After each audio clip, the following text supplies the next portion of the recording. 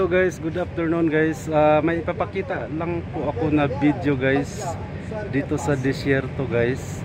Ang aking pananim guys. Dito sa disyerto kasi guys, bihirang mabubuhay ang mga gulay guys. Ngayon ang ginagawa ko guys, nag-ipon ako ng mga lupa na pwedeng mabuhay yung ah, tanim. At ah, ngayon guys, ipapakita ko sa inyo guys tulad ng mga tanglad, mga kamuting kamote, mga kahit anong gulay guys, kangkong or ah, malunggay. Okay guys, I, I will show to you guys. Ito yung mga tanim ko na tanglad guys. Ito. Makapal na guys, malago na guys. So tinanim ko to guys 6 months ago guys. Bali, nung pagpunta ko dito sa disyerto guys, mga March yun guys. Ngayon ay September na.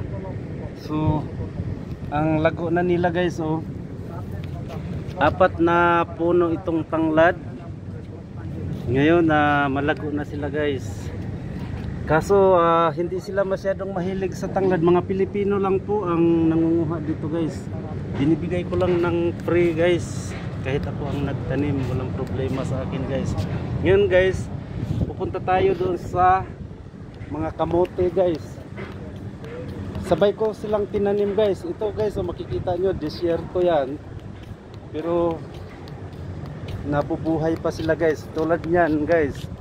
Ni- nilagyan ko siya ng plastic na cart para lang ma-save yung lupa at ah, yung mga hinugas kong kanin guys, mga ah, yung mga kanin, tubig, mga kahit ano-anong mga waste sa pagkain guys, nilalagay ko dito.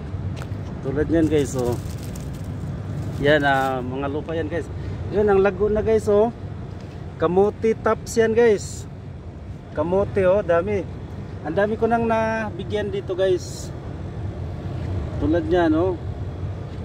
Ngayon na may halong kangkong yan guys. Namatay yata yung kangkong. Mm. Ito yung mga Oh guys oh, ang dami oh.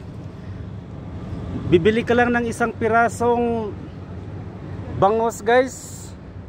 Bibili ka lang ng isang pirasong bangos na fresh bangos. Ah, kainan na ng husto guys. So haluan mo ng mga gulay na to guys. Pero yung alugbati ko guys hindi masyadong nabuhay guys. Pero sige lang guys. Ah yung medyo yung lupa kasi guys kinuha ko lang dito. Tapos sinaluan ko ng mga kakanin. Mga sobra sa ako yung mga ah waste ko na mga pagkain ito guys oh, ang lago na ng tanglad ko guys oh. Pinagkukuha ko lang tong mga bucket at saka ito napupulot ko lang to sa disyerto guys. So grabe na guys oh. Ang kapal na nila guys. Tapos ah uh, disyerto talaga dito guys pero nahanapan pa natin ng paraan. Tulad doon sa Hamim guys, doon sa uh, Abu Dhabi pa ako ako rin ang nagtanim ng mga gulay doon. Na-upload ko rin sa video ko yon okay guys basta may tiyaga guys. May nilaga. Kasi guys uh, farmer kasi ang tatay ko guys sa Bohol sa Inabanga Bohol. Ngayon manatoto akong magtanim ng kamote mga kamuting kahoy. Kahit ano ano lang mga tinatanim namin doon sa probinsya guys ngayon na i-apply ko dito sa disyerto. Kung mapapansin nyo guys oh, tingnan mo oh, desert to guys. Pero tingnan mo ah, green na green yung mga pananim ko. At saka dyan lang ako nakatira guys sa building na yan. Nasa third floor ako. Bali company provided yan bagong apartment pa lang to guys since 2017 ngayon uh, dyan lang din ako nakapark guys kung makikita nyo andun yung sasakyan ko oh. Yan, walang ibang pajero dyan na kulay dark blue.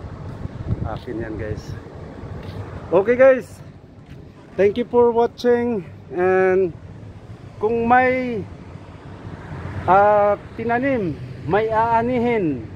Kung may tiyaga, may nilaga. Okay guys, thank you for watching to all my fans. Thank you.